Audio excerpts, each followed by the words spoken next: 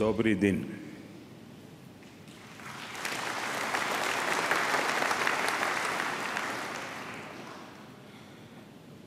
Vladivostok के शांत और प्रकाशमय वातावरण में आपके साथ संवाद करना एक सुखद अनुभव है सुबह का उजाला यहाँ से होकर दुनिया में फैलता है और पूरी दुनिया को ऊर्जावान बनाता है। मुझे पूरा विश्वास है कि आज का हमारा यह मंथन केवल फार ईस्ट ही नहीं, बल्कि पूरी मानव जाति के कल्याण के प्रयासों को नई ऊर्जा और नई गति देगा। इस महत्वपूर्ण अवसर को मुझे हिस्सा बनाने के लिए मैं अपने मित्र राष्ट्रपति पुतिन का आभारी हूँ। राष्ट्रपति जी ने मुझे यह निमंत्रण भारत के आम चुनाव से पहले ही दे दिया था। 130 करोड़ भारतवासियों ने मुझे मुझ पर विश्वास जताया और आपके निमंत्रण भी उनका विश्वास और मोहर लग गई। फ्रेंड्स दो साल पहले राष्ट्रपति पुतिन के ने मुझे सेंट पीटर्सबर्ग इकोनॉमिक फोरम में आमंत्रित किया था। यूरोप के फ्रंटियर से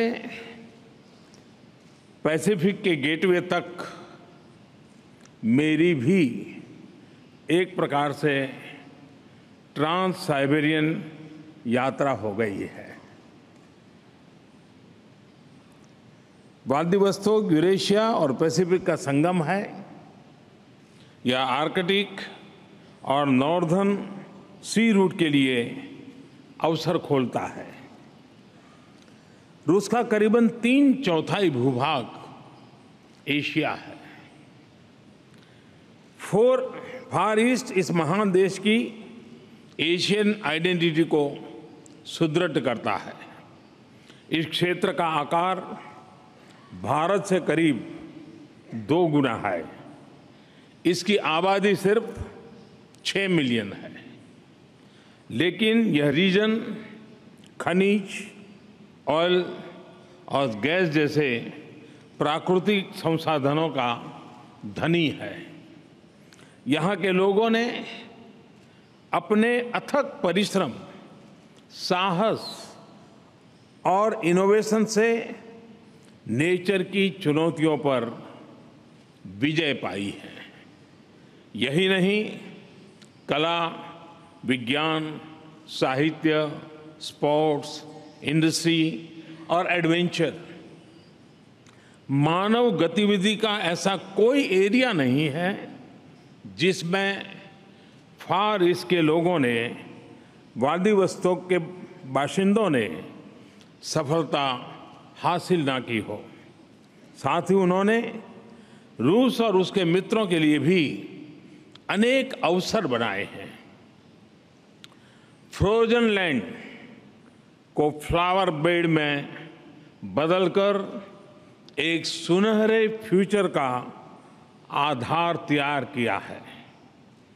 कल राष्ट्रपति पुतिन के साथ मैंने street of the far east exhibition देखा। यहाँ की विविधता, लोगों की प्रतिभा और टेक्नोलॉजी के विकास ने मुझे बहुत ही प्रभावित किया है। इनमें प्रगति और सहयोग की अपार संभावनाएँ मैंने महसूस की हैं। फ्रेंड्स भारत और फारिस का रिश्ता आज का नहीं, बहुत पुराना है। भारत वो पहला देश है जिसने व्लादिवोस्तोक में अपना काउंसलेट खोला। तब भी और उससे भी पहले भारत और रूस के बीच बहुत ही भरोसा था। सोवियत रूस के समय भी जब अन्य विदेशियों पर यहाँ आने पर पाबंदियाँ थी व्लादिवोस्तोक भारतीय नागरिकों के लिए खुला था। रक्षा और विकास के बहुत सा साजो सामान व्लादिवोस्तोक के ज़रिए भारत पहुँचता था। और आज इस भागीदारी का पेड़ अपनी जड़ें गहरी कर रहा है। दोनों देशों के लोगों के लिए सुख, समृद्धि का सहारा बन रहा है। भारत ने यहाँ एनर्जी सेक्टर और दूसरे नेचुरल रिसोर्सेज जैसे डायमंड में महत्वपूर्ण निवेश किया है। सखालीन के ऑयल फील्ड्स भारतीय निवेश की सफलता का एक उत्तम उदाहरण है। फ्रेंड्स, राष्ट्रपति पुतिन का फार ईस्ट के लिए लगाव और उनका विजन इस क्षेत्र के लिए ही नहीं, भारत जैसे रूस के पार्टनर्स के लिए अभूतपूर्व अवसर लेकर के आया है। उन्होंने रशियन फारिस के विकास को national priority for the twenty first century घोषित किया है। उनकी होलिस्टिक अप्रोच, यहाँ जीवन के हर पहलू को, इकोनॉमी हो या एजुकेशन, हेल्थ हो या स्पोर्ट्स, कल्चर हो या कम्युनिकेशन, ट्रेड हो या ट्रेडिशन, हर एक को बेहतर बनाने का प्रेयक प्रयास है। एक और उन्होंने इन्वेस्टमेंट के रास्ते खोले हैं तो दूसरी ओर सामाजिक सेक्टर्स पर भी उतना ही ध्यान दिया है। मैं स्वयं उनके इस विजन से प्रभावित हुआ हूँ और इसे शेयर भी करता हूँ। भारत उनकी इस विजनरी जर्नी में कदम से कदम मिलाकर रूस के साथ चलना चाहता है।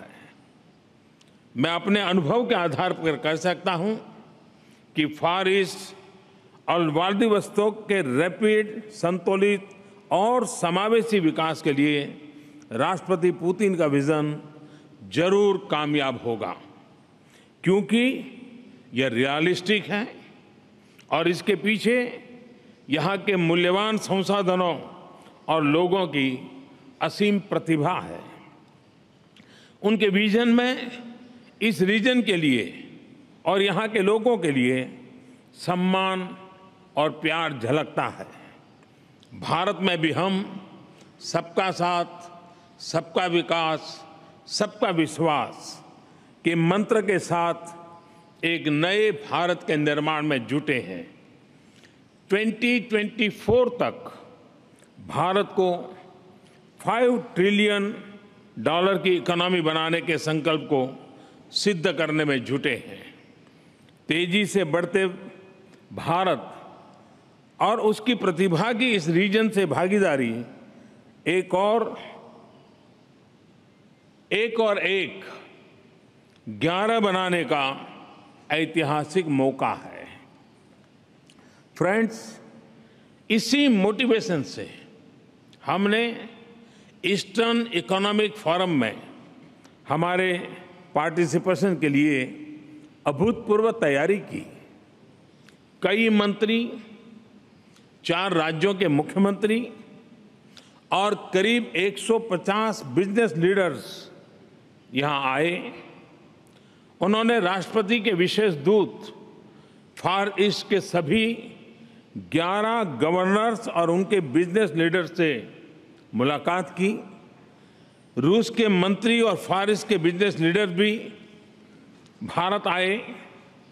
मुझे ये बताते हुए खुशी रही है कि हमारी इन कोशिशों के बहुत ही अच्छे परिणाम आ रहे हैं।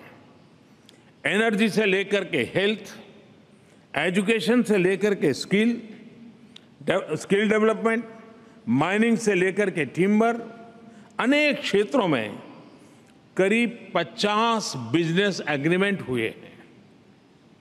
इनसे कई बिलियन डॉलर्स के व्यापार के निवेश की अपेक्षा है।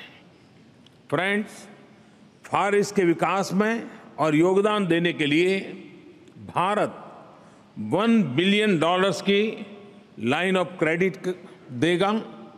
यह पहला मौका है कि हम किसी देश के क्षेत्र विशेष को लाइन ऑफ़ क्रेडिट दे रहे हैं। मेरी सरकार की एक्ट ईस्ट पॉलिसी ने ईस्ट एशिया को एक्टिवली एंगेज किया है।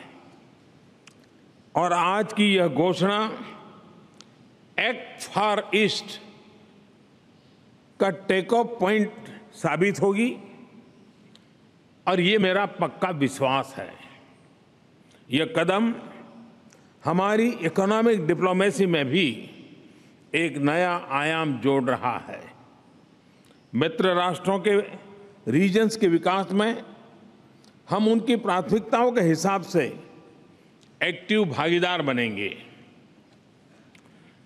फ्रेंड्स भारत की प्राचीन सभ्यता के मूल्यों ने हमें सिखाया है कि प्रकृति से उतना ही ले जितने की ज़रूरत है। हम प्राकृतिक संसाधनों के संवर्धन पर विश्वास करते हैं। प्रकृति के साथ यही तालमेल सदियों से हमारे अस्तित्व और विकास का अहम हिस्सा रहा है। फ्रेंड्स, जिन देशों में भारतीय डायस्पोरा है, वहाँ के लीडर्स जब भी मुझे मिलते हैं, भारतीयों के श्रम, ईमानदारी, अनुशासन और निष्ठा की भरपूर प्रशंसा करते हैं। भारतीय कंपनियों ने, कारोबारियों ने दुनिया भर में कितने ही क्षेत्रों के विकास में योगदान किया है वेल्थ क्रिएशन का काम किया है। साथ ही भारतीयों ने और हमारी कंपनियों ने स्थानीय संवेदनाओं और संस्कृति का हमेशा आदर किया है। मुझे पक्का भरोसा है कि भारतीयों का पैसा, पसीना, प्रतिभा और प्रोफेशनलिज्म फार इसमें तेज विकास लाएँगे।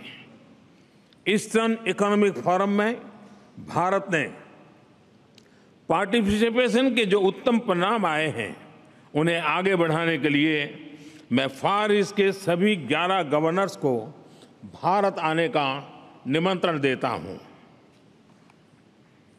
फ्रेंड्स मैंने और राष्ट्रपति पुतिन ने भारत रूस सहयोग के लिए एम्बिशियस टारगेट रखे हैं।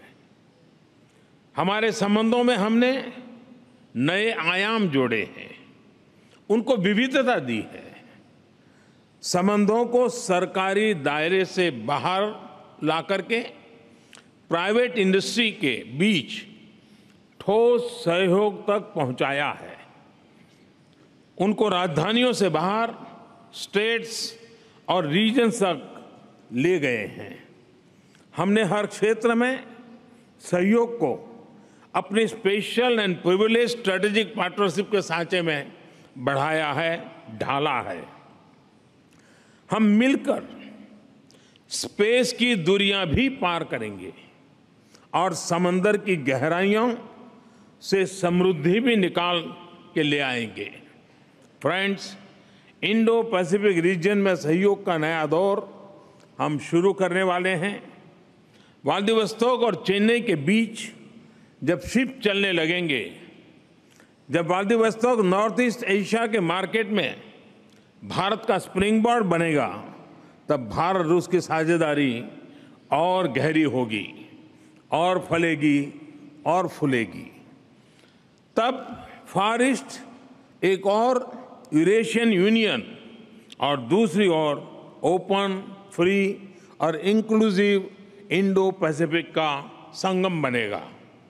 इस क्षेत्र में हमारे संबंधों का मज़बूत आधार होगा।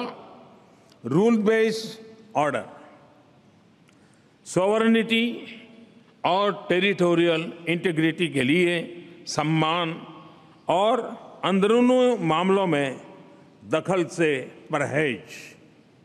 फ्रेंड्स, मशहूर फिलोसोफर और लेखक टॉल्स्टॉय भारत के वेदों के अपार ज्ञान से बहुत प्रभावित थे। और यह वेद वाक्य तो उन्हें बहुत पसंद था। एकम सत विप्राहा बहुधा वदंती। उन्होंने अपने शब्दों में इसे ऐसे कहा था all that exist is one people call that one by different names इस वर्ष पूरा विश्व महात्मा गांधी की 150वीं जन्म जयंती मना रहा है। टॉल्स्टॉय और गांधी जी ने एक दूसरे पर अमिट प्रभाव छोड़ा था।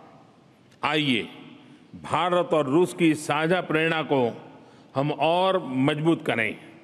एक दूसरे की तरक्की में और अधिक भागीदार बने। अपने शेयर्ड रीजन और विश्व के स्टेबल और सिक्योर भविष्य के लिए मिलकर के काम करें। ये हमारी साझेदारी के नए अध्याय की शुरुआत होगी। मैं जब भी रूस आया हूँ तो भारत के लिए यहाँ प्यार, मैत्री भाव और सम्मान ही पाया है। आज भी इन्हीं भावनाओं का अनमोल उपहार और गहरे सहयोग का संकल्प यहाँ से लेकर के जा रहा हूँ। मैं अपने मित्र राष्ट्रपति पुतिन का विशेष धन्यवाद करना चाहूँगा। हम जब भी मिलते हैं तो बहुत खुले दिल से और बहुत समय लेकर के मिलते हैं। कल अपनी तमाम व्यस्तताओं के बीच उन्होंने मेरे साथ अलग अलग स्थानों पर कई घंटे बिताए और रात के एक बजे तक हम एक साथ रहे। मेरे लिए ही नहीं, बल्कि भारत के प्रति उनके मन में जो प्यार है, वो उसमें झलकता है। मुझे यहाँ की और भारत की एक और सांस्कृतिक समानता दिखाई दे रही है। मेरे होम स्टेट गुजरात में बाय बाय की जगह, बाय बाय नहीं कहते हैं, बाय बाय की जगह आवजो कहते हैं। जिसका मतलब है, आप फिर जल्दी आइए। यहाँ कहते हैं, दसवीं दानिया।